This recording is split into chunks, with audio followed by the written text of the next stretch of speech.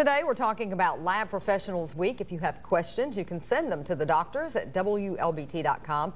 Joining us is David Hathorn, Hathorne rather, with Baptist Medical Center, your medical technologist. Tell us a little bit about Lab Week and what, it, what it's about.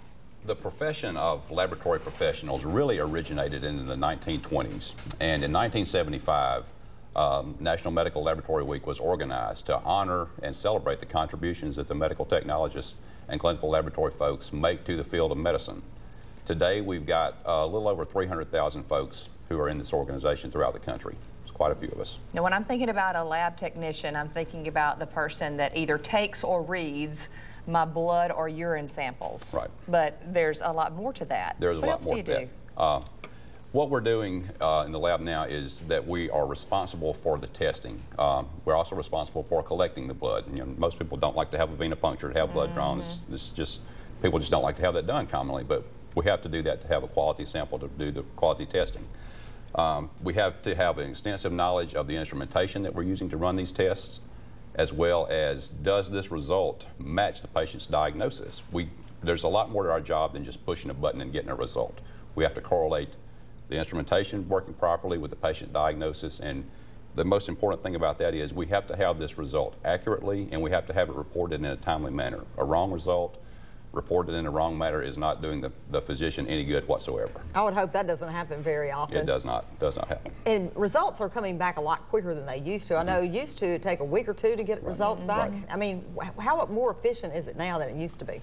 The most common uh, profile that we run is called, a comp, is called a comprehensive metabolic profile, which consists of 14 different tests concerning, uh, consisting of glucose, electrolytes, calcium, and, and several other tests.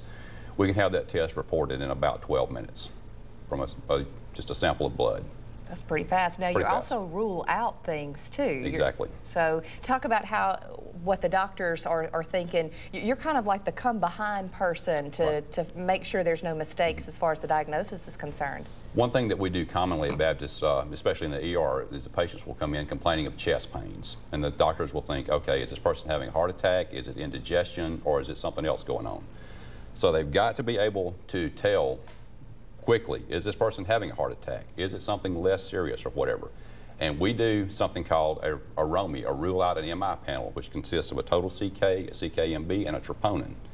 If the CKMB and troponin are elevated, that's a pretty good indication someone's having a heart attack. If it's not elevated, that's a pretty good indication that they're not having a heart attack. So that helps the doctors right there to, to determine is this person having simply indigestion and can go mm-hmm. home, or do they have to go be admitted for workup of cardiac profile? You know, a lot of the crime shows of late have really gotten young people excited about the field of, of criminology and Right. stuff like that. Have you, are you running across those kids any? We do a few. Uh, we don't do a lot of forensic stuff at Baptist. What we're doing mainly there is medical. Uh, that would be at the state crime lab where they would do a lot of that testing. But so they're really not as interested in the regular medical as they are the. Some of them are. Some of them are very interested in that, and what we're doing. Um, one thing that, that really hit home with me, I was doing some research about this this week and found out that there's one statistic that I think that's, that hits home with this, what we're doing. 70% of the information that the doctors are using to diagnose and treat patients comes straight from the lab results that we're providing. Mm-hmm. So we are a, a huge part of the, the overall healthcare team that the doctors are, are relying on. And I assume that you that you're like doctors and lawyers and other professions that you've got to you've got to stay up with things. I mean, a new system comes into your office and you've got to learn how to work it. Exactly. Uh, one thing that we're starting to do is a new test. It's called the PLAX test, P-L-A-C test.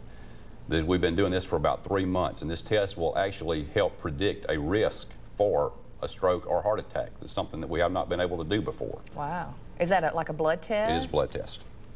Um, how, what does it take to be a technologist? I mean, do you need to be a college education? Do you need? I mean, what, how do you get jobs like this? The program, the medical technology program at Baptist is affiliated with Mississippi State University and William Carey University. What some people will do is spend three years at State or at William Carey and then spend their fourth year at Baptist training. At the end of the fourth year, they have a BS degree in medical technology. Uh, we also accept people who have a four-year degree, a BS degree from an accredited university, and you can spend a year, the same year at Baptist training to do the same thing that the folks that go through State and Carey do. Is the money pretty good for um, kids starting out? Money's good. Okay. All right, David Hathorne, thank you so much for joining us. Thank we you. appreciate it. Thank you for coming on. And for more new health news, rather, you can go to our website, WLBT.com, and click on Medical Matters.